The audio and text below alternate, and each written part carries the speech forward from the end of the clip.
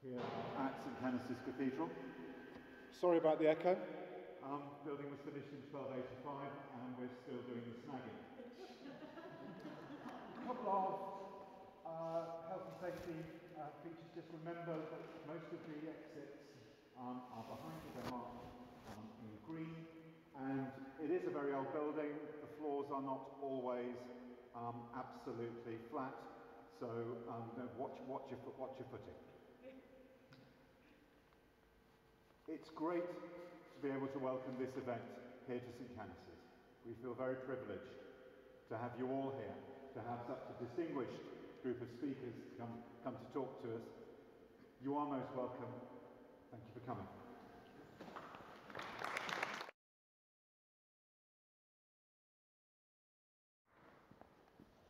Um, good afternoon, good evening everybody, and thank you for coming tonight to this very special event. My name is Alan Curran, I'm the Learning and Public Engagement Curator at the Butler Gallery, which is just across the river from us here at this beautiful cathedral. And I'd like to thank Dr. Marsh really for inviting us tonight into this very special place. And the event that you're about to see, it's um, all part of Traveller Pride Week, which has been running all week across the nation. And I think all the institutions that are part of it here tonight including ourselves, Butler Gallery, St. Cathedral. Um, it wouldn't be possible without Kilkenny Leader Partnership, who have really pulled it all together, and, and we thank them for doing that. I'd like to thank you all for coming to join us both in person here tonight at the Cathedral, and for those of you looking online, because of course we're, we're live streaming the event tonight. And the actual event that we're having, it's a particular talk and in conversation with, with a very distinguished panel that you see behind me, um, about what is culture. And that's a tricky question because culture means a lot of things to many people. And in Ireland, it's kind of whose culture are you talking about or whose culture are we representing? And that's something that we really want to kind of explore in, in our conversation tonight. Before we jump into that conversation, there will be some other cultural activities. We have some music that will and dance for you to see, which is fantastic. And thank the performers who are here tonight to play for us. But to introduce the panel who you see behind me, on my left-hand side is Helena Power from the Kilkenny Traveller Movement. And Helena has been doing Trojan work in Kilkenny City um, around issues of youth empowerment for the Traveller Movement and just generally raising awareness. We're delighted at the Butler Gallery that she brought a fantastic oral history project from two, uh, 2012 to show at the gallery. So we were really happy to link up with Helena on that. To the left of Helena, you have Mary McDonough from the Exchange Network Ireland, a really important national, um, I suppose, organisation for travellers. It works across education, it works across employment, it helps every aspect of the traveller community um, in terms of empowerment and finding voice in, in the country. And I think it's safe to say Mary herself um, also works in an aesthetic way. She works with the arts and she may say a little bit about that herself. Um, directly behind me then, we have the fantastic Rosaleen McDonagh. And Rosaleen may be in a lot of your consciousness recently because she had um, an absolutely critically and publicly award-winning play at the Abbey Theatre, just finished a few weeks ago, um, Walls and Windows. And it, you know, it really was a dramatic and, and powerful piece of work. Um, Rosaleen has written for the Irish Times. She writes a lot about um, women's rights for the traveller movement. So it's something, again, she will bring up. And then holding it all together, I probably don't really need to say too much about this gentleman, um, Mr. Vincent Browne, um, a journalist in print and broadcast with the Irish Times and the Sunday Business Post. And he'll be posing the questions to our three panelists. And um, it'll be quite an inspiring conversation, I feel. So, so thank you for coming, and I believe at this stage I'm going to hand over um, to more of a cultural element before we begin. Thank you.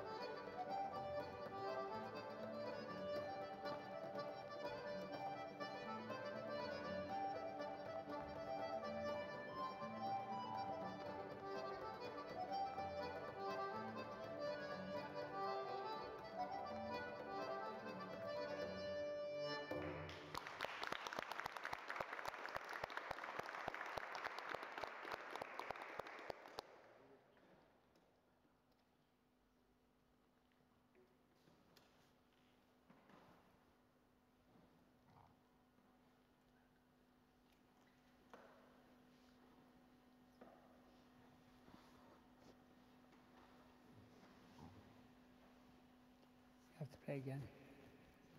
You have to play again. Play again, yeah.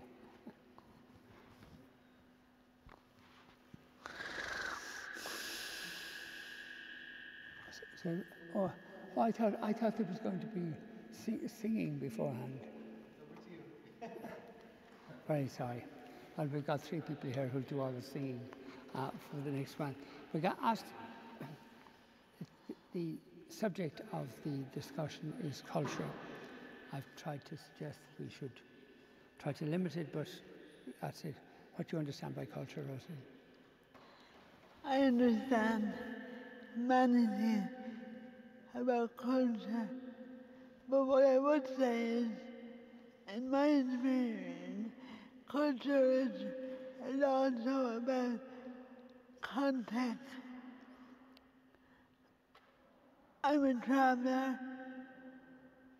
When I'm around other travelers, I talk and behave, and I have rituals that I inherited from my ancestors. That's said, when I move out of my family and I'm in a settled environment, culture is not so much what happens on the surface, it's what happens underneath. So I would say I don't think about culture, I live it. Is that true of us all? And, um,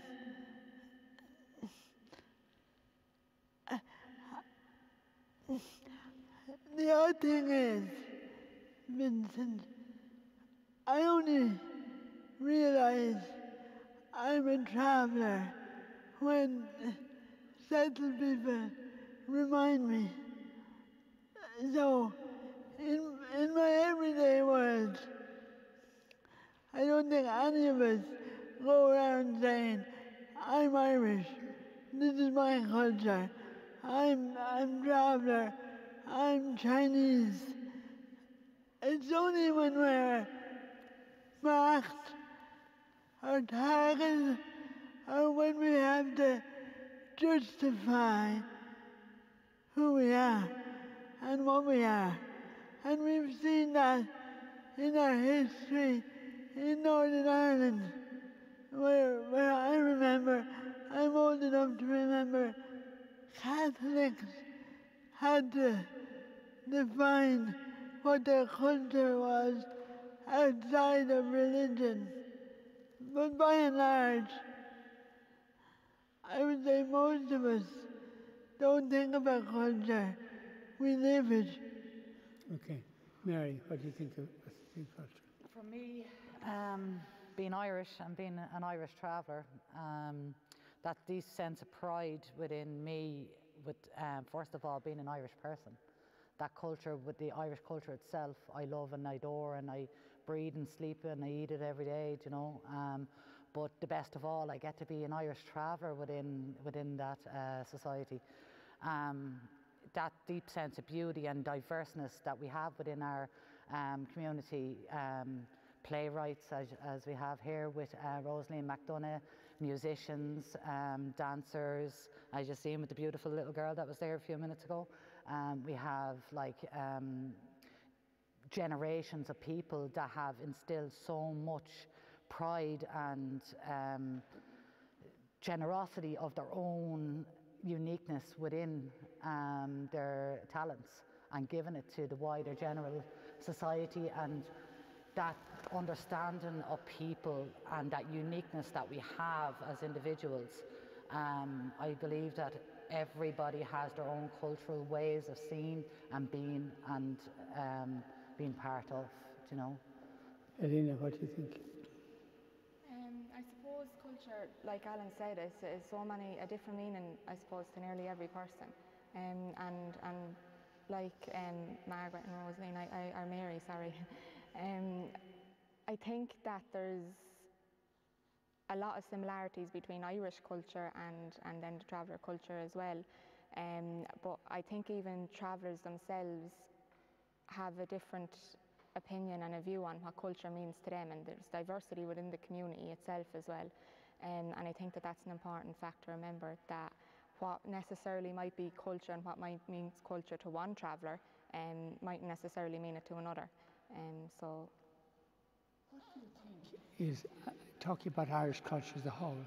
What is it about Irish culture that stigmatizes travellers?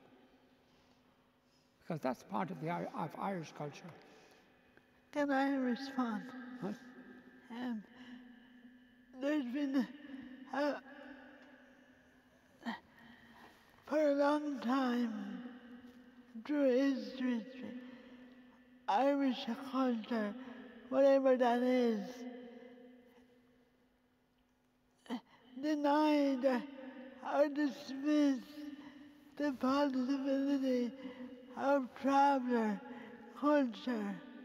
And I think uh, all through our history, the obvious bits of our culture, our language, our music, our nomadism, uh, all those things, nobody ever invested in who we are. On the one level, you have health, education, employment, accommodation, but also in our language, in our history, in our in, uh, in our arts. Yeah, but you, you're not. I think. As, But there was no investment, Vincent, and that in itself is a form of racism. They put Yeah, it is, money. But I'm asking you, what is it about Irish culture that stigmatizes travellers and traveller culture? Racism. What, yeah, what is it? How did it? Like, why, why, why, are- why, is, why are the mass of Irish people like that? I don't know why they're like that, but I know they, I know they have inherited it, and I know uh, it seems to be part of being Irish is the hate, diversity. Maybe do you understand? Yeah, in a way, it's um, others. I believe that it's others' preconceived ideas of who um, maybe we are or who our community is. You know, and then that builds upon the stereotypical views of others, and then that allows others to um, have their own informed opinion on who we are as people. Um, as Irish people itself, um, we all have our own prejudices and our own um, discriminations. Um, you can see that throughout the world when you see no dogs, no Irish, no, no blacks. You know, so within our own um, uh, in a, within our own society within Ireland, that um, allowance from the the top, as they say, to discriminate and to have them preconceived ideas about us, and not to have um, any law. Well, there is a law in place. It's just not, uh, you know, uh, used to help us really.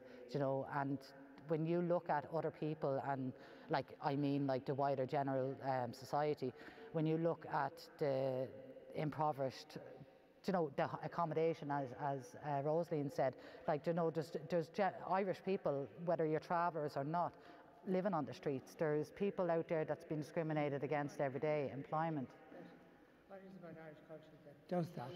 Uh, for instance, in America, America is a deeply racist society. Yet there is a, a s- another part of American culture that is appalled by racism and appalled by the way blacks were treated for so long. But in our society, there is an acceptance of stigmatization of travellers. It is the one prejudice that is, that is acceptable and, and almost rejoiced in. Uh, travellers, bloody knackers, and other epithets um, or uh, characterizations. Um, and why is it so virulent, Helena, do you As think? a traveller, I can't answer for the wider community. I am only on the other end of that um, victimised. You know, I don't want to be a I- victim of it, but I, I have experienced it and I have flourished from it as well because I've defied every, every barrier that's been put in front of me and told me what I could not do and what I could not be.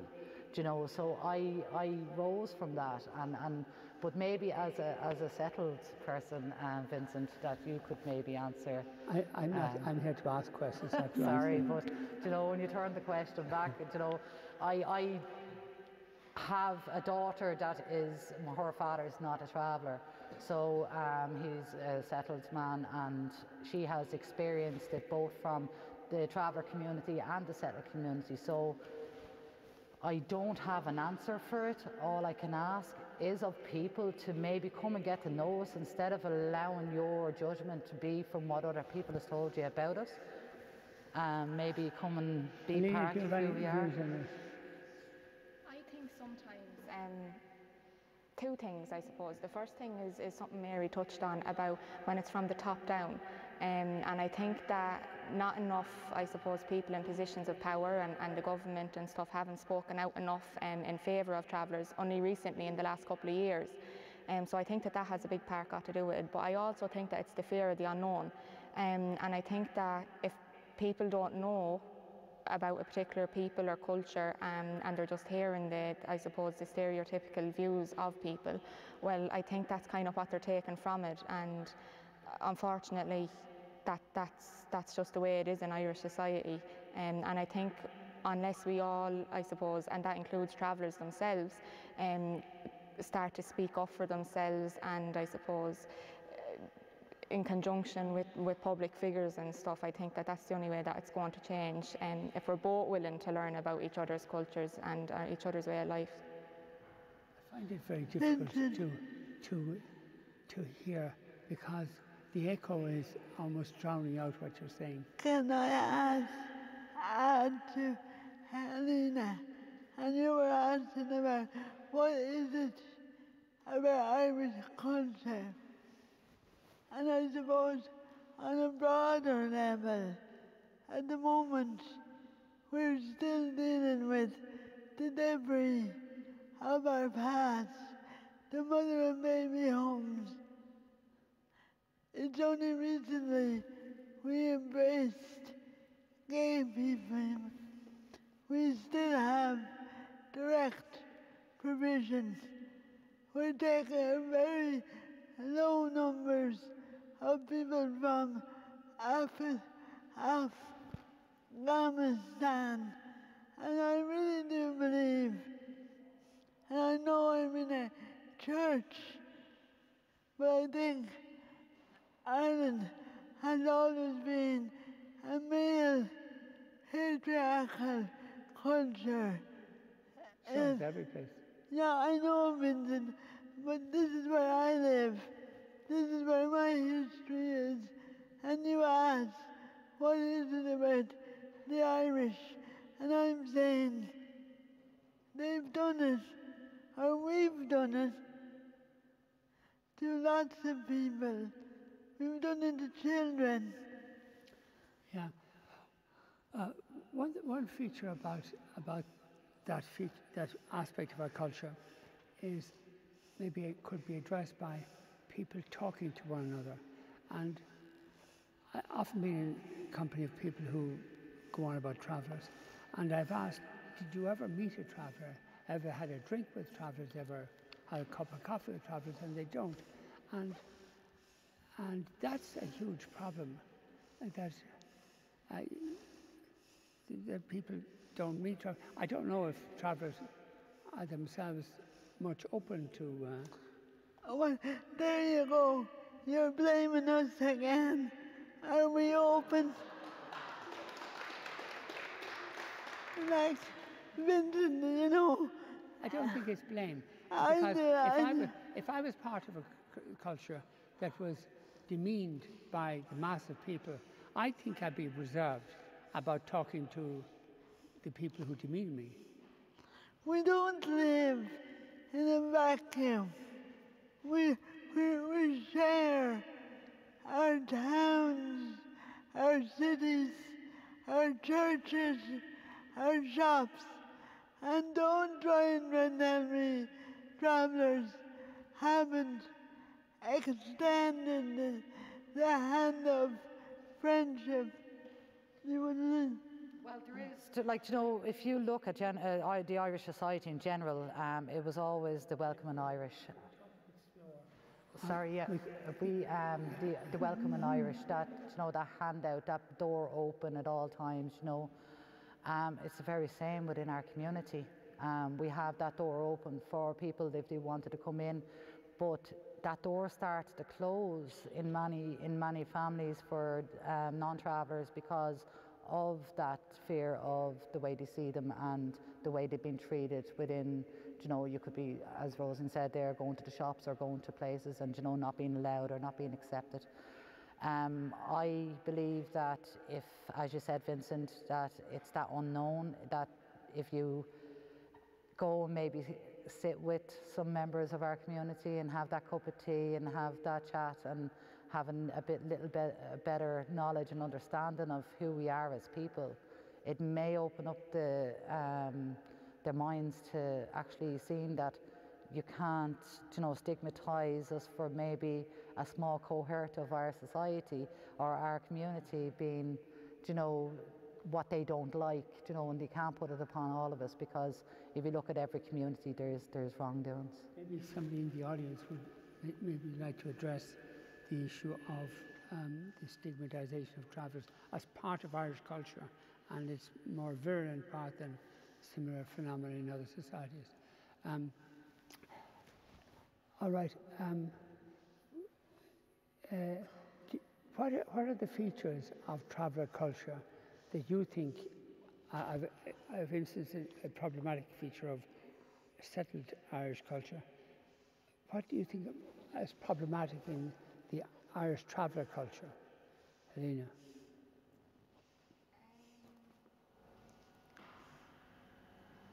I suppose it's a hard question to answer. Um, I think it depends on again on the, the what's important to some Irish travellers and what some Irish traveller culture is. So I suppose the likes of um, Just talk a little slower. okay. Uh, in other words, let, let your echo uh, finish before you so have to go on, yeah. Uh, yeah, no problem. I'll try. Um, yeah, so I think it depends on what you consider like Irish traveller culture, what the, the problematic parts of it is. Because while I suppose, for instance, bare knuckle boxing might be important to some members of the travelling community, and that might be a part of what they consider their culture. Um, it's not for the majority of the community. So it's like, I suppose, what Mary is saying about small um, cohort, cohorts of the community giving the rest of the community a bad name. I think it just depends on, on what part of culture you're talking. Not, not every Irish traveller um, gets involved, I suppose, in, in bare knuckle boxing. Not every Irish traveller keeps a horse. It, it depends on what parts of, of culture um, you're talking about, I suppose. For us, like if you look at our community, there's many who live in houses, who grew up in houses, was born and brought to a house from day one, and then there's many of us who was born in a tent, and uh, which I was, you know, and um, being able to have their wagons and their trailers and their, you know, uh, as um, Helena said there about some having horses. Now my mother's my mother's family would, but my immediate family don't. You know? So I have different cultural values than what some of my aunts and uncles would have. I have a love of our language. Um, there's some of my family that can't speak a word of our language. Sorry? Which language are you referring to? um, the cant or the gammon and what academics would call Shelta. So um, I have a love of our language, but I have like there's some members of our community that can't speak it anymore. It's a dying it's a dying language, and we're trying to revive that. And there's many members of our community who's been successful in in um, collating our, our language and putting it together. And sadly, a member of our community who was a treasure died recently, Michael McDonagh, who would have, um, you know, collected our words and, you know, wrote many, many um, different stuff for many different government members in regards to what our language means to us, but yet it's still not heard. Do you know, it's still not You, you appreciated. speak cant? Sorry, yeah, I would speak Cant. yeah. Say what you said in cant. Now, Vincent, if you would, if it'd be like speaking a foreign language to yourself, but stall the wit and soup like you All can't right. push in front of the Neges. The Neges is going to corpus and all shit, do you know? Um, but like, in all honesty, our language was then stolen in, in part because if you go down the country, you have the words like fiend and bure and lacking and it's used so commonly. Sorry, what, which words? Fiend, bure, lacking. It's used so commonly, and it's like as if it's theirs, it's ours. Do you know, it's our language, and we, we, we, through generations, it was word of mouth that it's only in the last 10, 15 maybe years that, or maybe even 20 years that people's travellers started to actually write it. Where we had people come in from um, the outside, um, to, from the wider community, and try to study our language, and then go off and talk about it, write about it, study it, research it. And some of them, some people were told many lies. For example, I could give you a word and tell you what it means, but it could mean something completely different. So there's words, there's books out there Okay. with words that don't really make sense, like you My know. question was, what is it about the travel cu- culture that you think is problematic? Or is there anything? No, before I answer, those problematic issues are also in the settled community as well. I would say the role of women, I would say grappling with diversity, whether that be disability, deaf, or gay travelers, we're all struggling. Single parents, particularly women, issues around feuding, you know, different families. And in order to work within the community, and in not Mary would do it more than I do. That needs resources, it needs government policies and commitments, and it needs implementation of various strategies. Now I know you're bored. I, I can see it in your eyes, Vincent. But the truth is, Uh, our in terms of problematic concerns, we've been deprived of access to all sorts of things. So we're really only evolving.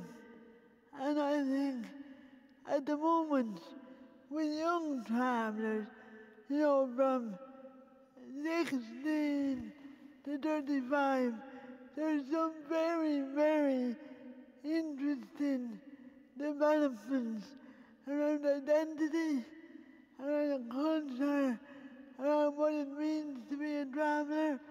And I, I really, I'm delighted that it's evolving. I What- just have one thing to say. Like, I just wanted to ask: Is it a, is it just views on it? Is it like what's problematic for us, or what's problematic for the wider society about us? You know, um, so there's two ways of looking at it. For me, what's problematic is society telling our people that they're no good and that they shouldn't be who they are. So then, what's happening within our own community is they're believing it and they're becoming they're losing their own identity to become uh, well to conform to the norm of the general society the wider community because so they can fit in more so they can be accepted so they can go to school so they can go and have a job so they can like you know go to nightclubs and go and have a meal and you know it's problematic for us that we are losing our self ourselves and our identity in order for to fit into society that doesn't even like themselves sometimes. So, yeah. The community that's very striking is the incidence of suicide, which is so far so much higher than the incidence of suicide in the population as a whole. Uh, and what, why do you think that is true? I think one of the, the, the main problems with our suicide rate is the years of discrimination and, and the years of, I suppose, being told that we were no good and, and being told that we didn't conform to the norm um, of society. And like, just to give people a, an idea, the statistics, um, it's six to seven times higher for uh, an, Irish traveller to commit suicide than it is for their settled counterpart. Um, and that was done in a 2010 All Ireland Traveller Health Study, which is nearly over a decade ago. And I can tell you, as a traveller, that suicide rates have got extremely worse since that. Um, so I think if something was, if a study was done now, that would even be higher than that. But I think it's lots of reasons. I think it's discrimination. I think it's the lack of access to services, um, and I think sometimes that there's a piece of work needs to be done there with services. I suppose To make them more cultural. to make them, yeah, exactly, to make them more culturally appropriate, to make them more welcoming. Um, and I suppose it's like anything. Uh, if you're not welcome, if you don't feel that you're wanted somewhere, you're not going to go back there. Um, and I think one of the, the major things that we need to try and work on with the community themselves is not just to attend a service when you're in crisis. Um, I suppose the most important part is the aftercare. Um, and a lot of the times, and I'm working in the area of mental health, and I think a lot of the times that that's one of, one of the, the, the key problems is that people attend a service when they're in crisis, but they don't do the aftercare. Travellers have been treated very badly by Irish society for a long time, and but I don't think the rate of suicide was as high 20, 30 years ago as it is today. So, what has changed to make the suicide I'm suicide not rate sure. I'm not sure I agree with you. Pardon? I'm not sure I agree with you. I think suicide in Ireland, I'm old enough and you're old enough. We didn't talk about it. I think within our community, we live in the world of social media, technology, families are more isolated, all that stuff. But I do think our community has been neglected and has always been neglected. Our men and boys have not been respected or protected. All that internalized shame and frustration, despair, and even about isolation.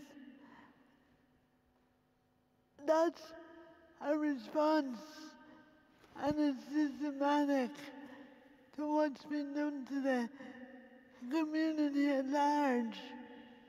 And also, if you look at the Maoris in New Zealand,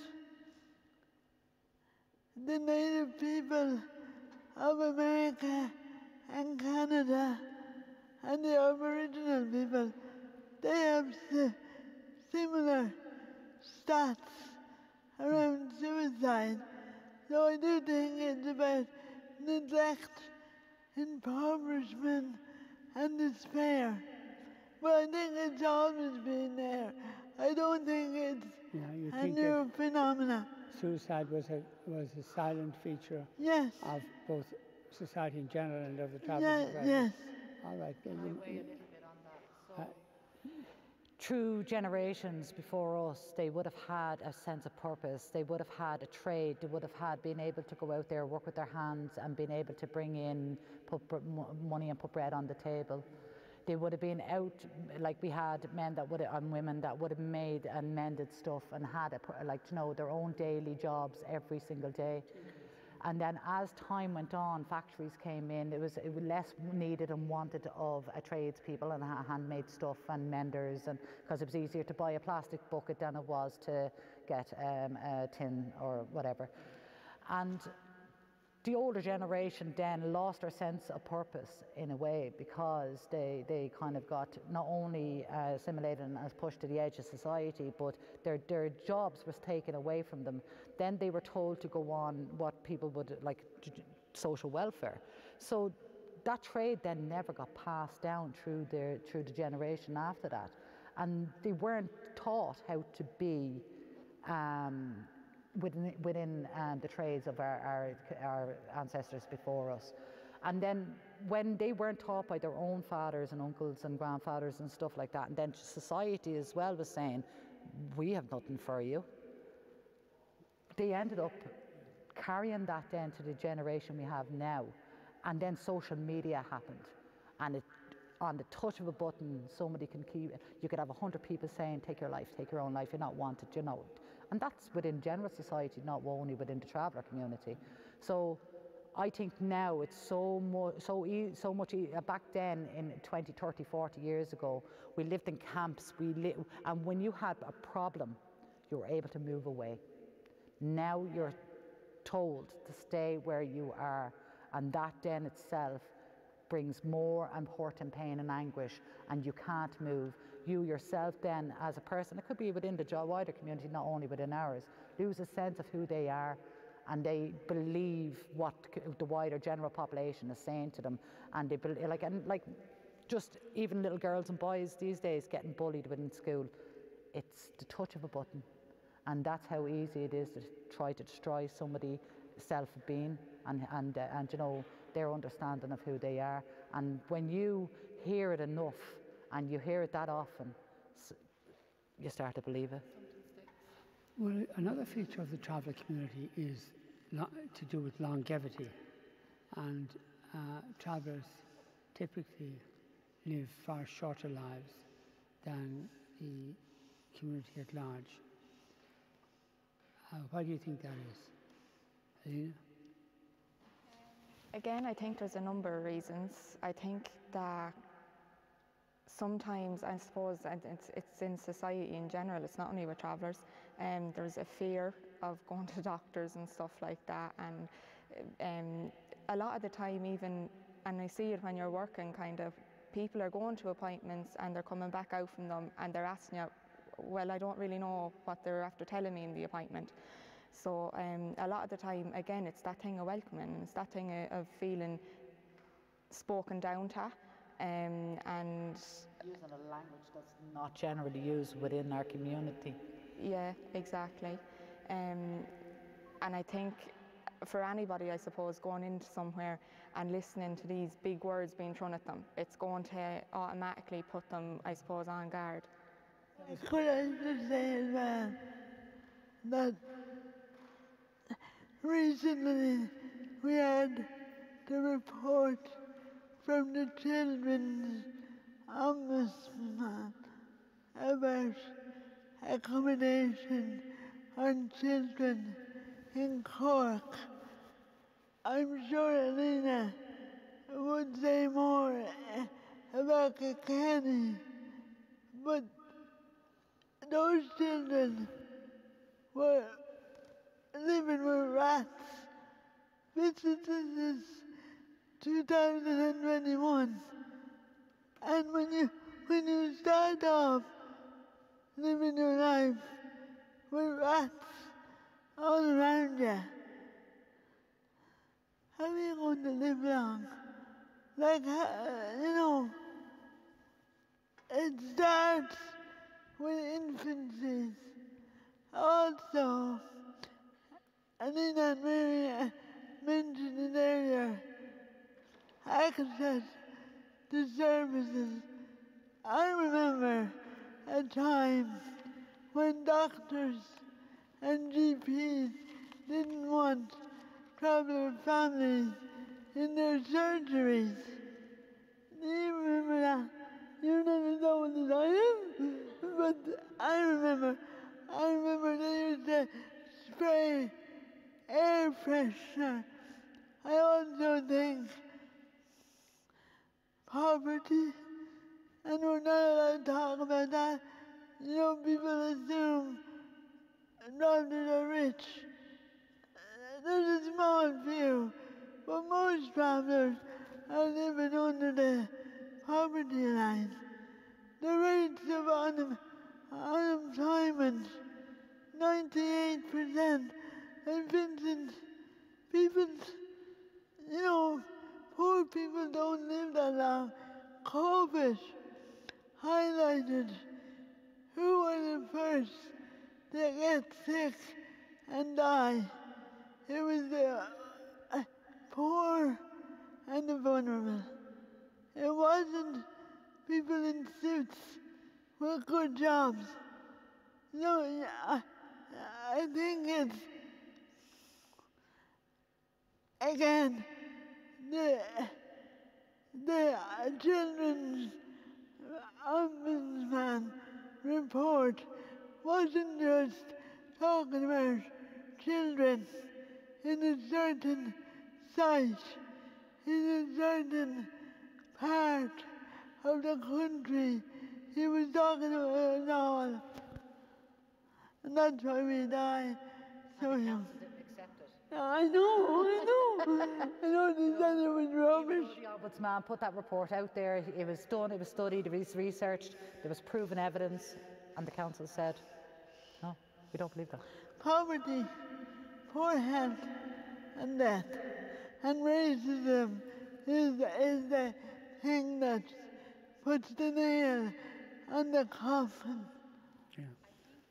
The, um, the primary healthcare projects that were set up around Ireland really have an important part to play as well, um, because it's travellers themselves, mostly women, um, going out within their community and I suppose promoting positive health messages and stuff like that as well. So I think that that's I suppose part of, of, of, probably of the reasons for such poor health statistics is a lack of education around certain stuff as well and a lack of understanding. So I think that the primary healthcare projects have a really important part to play um, in, in getting the messages out to the community itself as well. As a former primary healthcare coordinator, um, the hours that's given to the primary healthcare workers are minimalistic to say the best. You could have like three staff members that is covering a vast area and you are only given 10 hours to 12 hours a week. You're not given any more than that. So if you're sitting with a person that has complex issues, you could be spending anywhere up to an hour, maybe an hour and a half, that person a day, it's just to speak to them. But yet you have maybe about 100 families within the area. How are you going to get that in within 12 hours?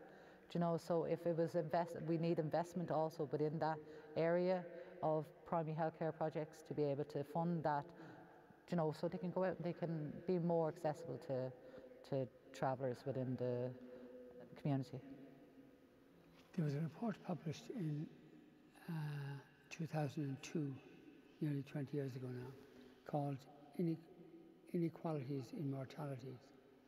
And it showed that people in the lower income brackets died uh, on average five years young, uh, earlier than people in the, uh, in the higher income brackets. And it showed that 5,000 people die a year um, from inequality in our society. And people are alarmed by the number of people who die on the roads, which is about 350 a year, or people who die, as we far as we know, by suicide. We've talked a bit about that, which is maybe 400 a year. But here, people, there's 5,000 die because of inequality. And I suppose it's no surprise that nobody paid any attention to the report. The report was done by the Institute of Public Health, which was set up under the Good Friday Agreement, and it deals with North and South of Ireland. And I suppose the reasons for travel longevity is, as you were saying, Rosaleen, is poverty. One of the one of the features is poverty, but that we we pay no attention to that either. Uh, At all. Another feature about the travel community that's much relied, much remarked upon, is the treatment of women in the travel community. And there's another report also published in the year 2002 called the SAVI Report. It was sexual abuse and violence in Ireland. And it showed that uh, that um, 200,000 women in our society had been raped in their lifetimes. Like it is an absolutely shocking figure, which again, no attention paid, for, uh, paid to it at all, even though it was funded by the Department of Justice and by the Department of Health. Micheál Martin was uh, Minister for Health at the time. And here again is another shocking report that nothing, paid, people paid no attention. And it wasn't, these people, uh, these 200,000 people weren't all travellers. Um, uh, obviously. Um, anyway. Uh, know, that, I think, because, like, if you, if, this is only my opinion, but even with the Magdalen laundries, um, that want of hiding the truth, um, not wanting to see it, put it away, just, you know, we won't talk about it, you know, and it's the same with the, a lot of reports, you know, even there recently when the, the with survivors of the Magdalen laundries wanting to find out more information and stuff, it's really, really hard to try to get the government to hear. And I think once a government sees something that is a troublesome uh, subject, they try to brush it under the carpet as much as they can. And it's the same with, like, even for example, homelessness. I work with homeless groups in the Dublin City, and I'll stop and I'll sit with a homeless person. I'll beg with them. I'll say, "How much did you get? Did you get much? I'll help you." Do you know? I'll never turn. I would never treat somebody that's sitting on the ground begging to any way different to somebody walking as a CEO in this country or any country or anywhere I meet. We're all human. We all live, breathe, eat, sleep. We'll all have to die you know, but that poverty is really, really seen within the Irish society, not only for travellers, but with lower income families, and it's heartbreaking to see. From the audience wish to contribute at this stage? Mention. Uh, somebody wants to put up a, a hand or whatever. I, I just want to say something about traveller women. About what? And traveller women. Okay, right. And culture one of the most positive aspects that's happened over my lifetime is the um, empowerment of traveller women. And I really, really, really, the O'Reilly sisters from Tipperary last year who broke the silence about what was done to them as children and how the state services ignored them It was an indictment of what of a country we live in. But that said, traveller women more and more of us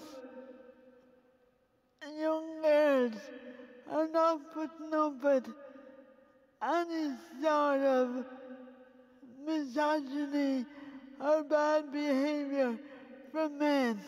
Also, the current generation of younger traveller men don't want to do what their daddies might have done they don't want to do the old ways. They want an equal relationship with women, be that their wives, partners, sisters, or female cousins. And I think that that's a credit to the involvement of traveller women and the culture that women have always had strategies around protecting our daughters but I think now it's phenomenal. Would you agree? You can see the shift and you can see You can feel it. I see that want of change as well, you know. I think um, sometimes traveller women a lot of the time get left in the background. Um, when in reality, I think that they're the backbone of, of, of the family, probably like matriarchs, of, of Matriarchs, yeah, yeah. um, of most of most um, families, I suppose. The, the mother or the woman in the family is, is really the backbone. But I think sometimes um, traveller women get forgot about, um, and a lot of the time, I suppose the male is seen as the head of the family, and whilst that might be true, I think that the, the, the women in the house is, is most definitely the backbone and they hold everything together. Um, and I think that traveller women have, have a very strong sense of resilience um, and bounce back from situations that other people mightn't bounce back as quick from um, because I suppose of the years of discrimination and racism and they know that they have a family there to rear, they have people to look after and they, they have no choice, they, they have to go up and do it. But I do think that sometimes that we are left in the background and people forget just how important that, that traveller women actually are. And even I suppose in the fight for um, equality in traveller women, it's, it's, it's women that's leading the way in that. Um, there's lots of men there too. We just need to get them talking. Um, but uh, I, I do think that it's, it's traveller women that's leading the way in that. Anybody want to contribute? Um, there was an incident recently in Tuam of feuding at a, at a graveyard, and I heard lots of comments about this in radio. And I, I, I wondered why somebody didn't say, well, there was a feuding up the road in Northern Ireland for 20 years, and 3,500 people were killed. And, and uh, um, uh, again, this is an instance of how traveller behaviour is uh, is given a, a, a, an edge, which behaviour of other people. Uh, is- is I don't think Helena, Mary, or myself are here to justify that kind of behavior. And feuding is wrong. There needs to be more resources into mediation. But you know what feuding does?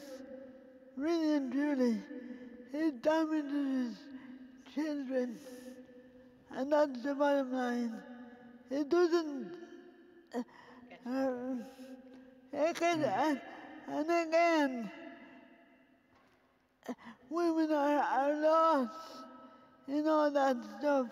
But really, it's the women and children that suffer.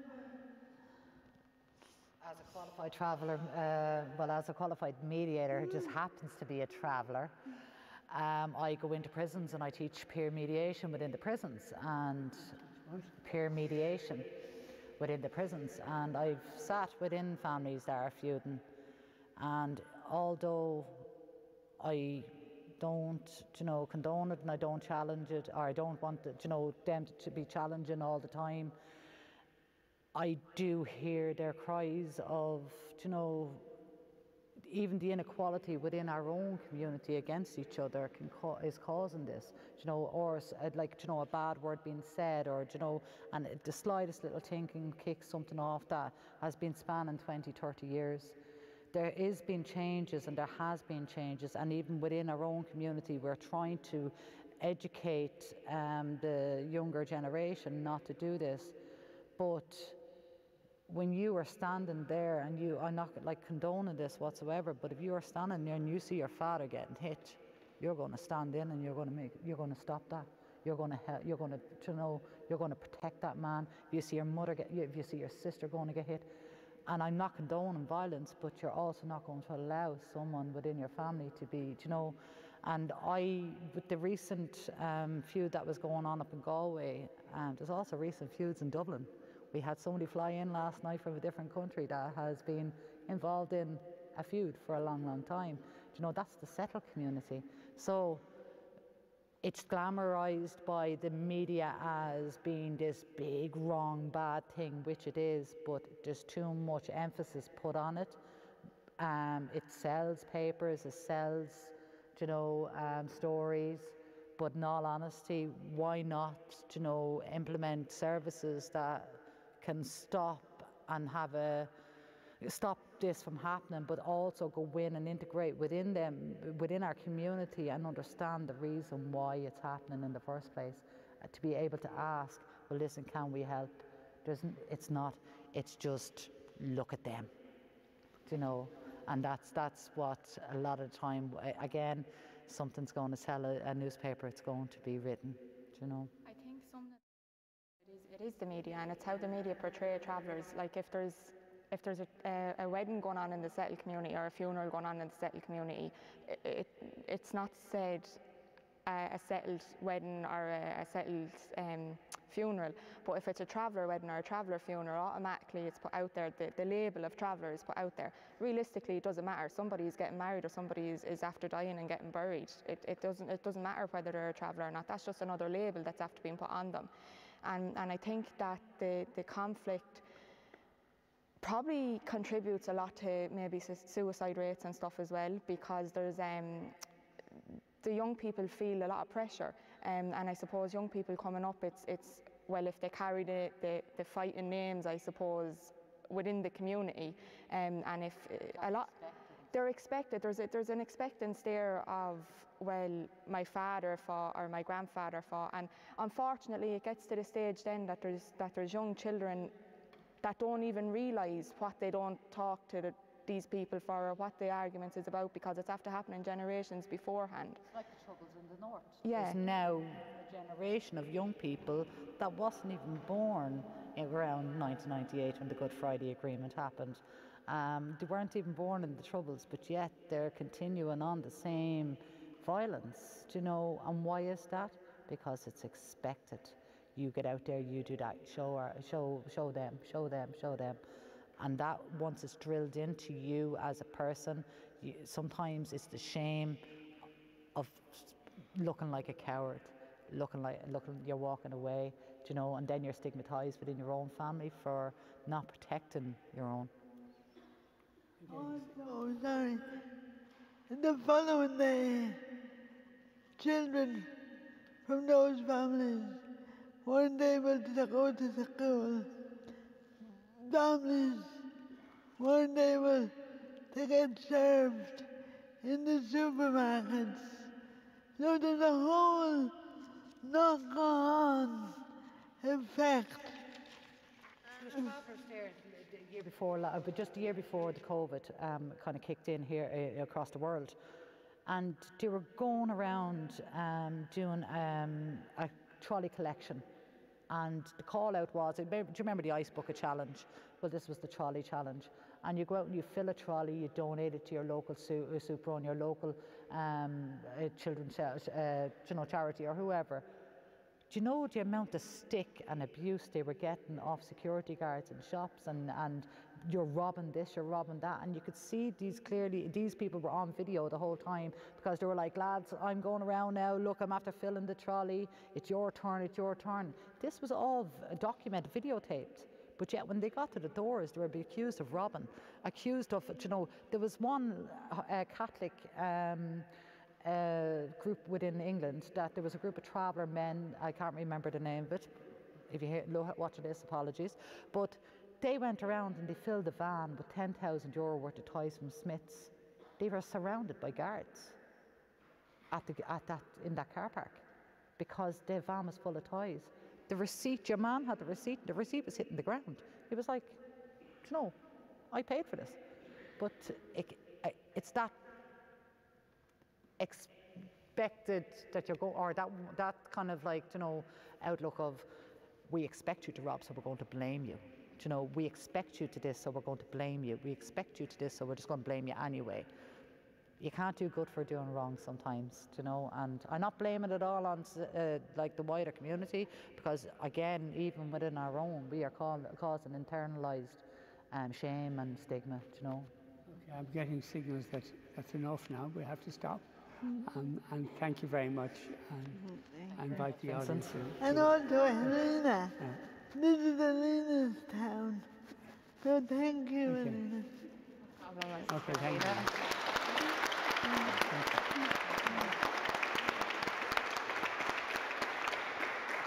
So, I suppose uh, a few words. Um, I'll keep it quick. I suppose you all probably want to head off soon enough. Uh, so first of all, I'd just like to say thanks to everybody for coming this evening. Um, I know it's not easy to get time off from everyone's busy schedules, so um, and especially after work hours. So fair play to all those that made the effort to be here. Um, Traveller Pride is a national event that's held once a year, and this year National Traveller Pride was held from the 20th of September till the 27th, and local Traveller Pride began on the 27th and runs through until the 3rd of October. So this year um, in Kilkenny, the steering group of Traveller Pride decided that we wanted the events we were holding to be a little bit more visible to the wider society. Um, and after a couple of, of minor setbacks, uh, we were lucky enough to be able to collaborate with two amazing cultural venues here in Kilkenny, Butler Gallery and, and St Canice's Cathedral. So I suppose from the very start of this process, um, we've felt, felt so welcomed by both places. Um, I think that the fact that there was a genuine excitement from people to attend the events around Traveller Pride, and in particular this event tonight, um, speaks volumes for the levels of integration that's now being reached in Kilkenny, um, and also for people's openness to learn more about traveller culture. Uh, I suppose from a traveller's perspective, it was a nice feeling to be able to turn the tables, if, if only for a short time, and that we were the ones that were in charge and be able to say who we wanted at the event. Um, and I, I must admit, it felt good to be in a position to be able to tell people, no, sorry, we're taking charge here for ourselves. Um, so I suppose just to the two girls who, who performed here this evening, we're going to hear Caitlin in a few minutes, I'd just like to say well done to you both. Uh, Leona and Caitlin are tremendously talented and it's a pleasure to see them both performing here this evening. Uh, I don't want to start thanking people because I'll, I'll definitely leave somebody out, but um, on behalf of the community and myself personally, uh, I'd just like to say a massive thank you to everyone who has helped make this event and Traveller Pride Week possible in Kilkenny. Um, hopefully you all enjoyed both tonight and all of the week's events. Uh, we have our social event in O'Loughlin, uh, Court even tomorrow, uh, starting from 12 until 4, and we'd love to see you all there. Uh, I won't hold you on much longer, but again, thanks to everyone for coming and a, a safe journey home to you all.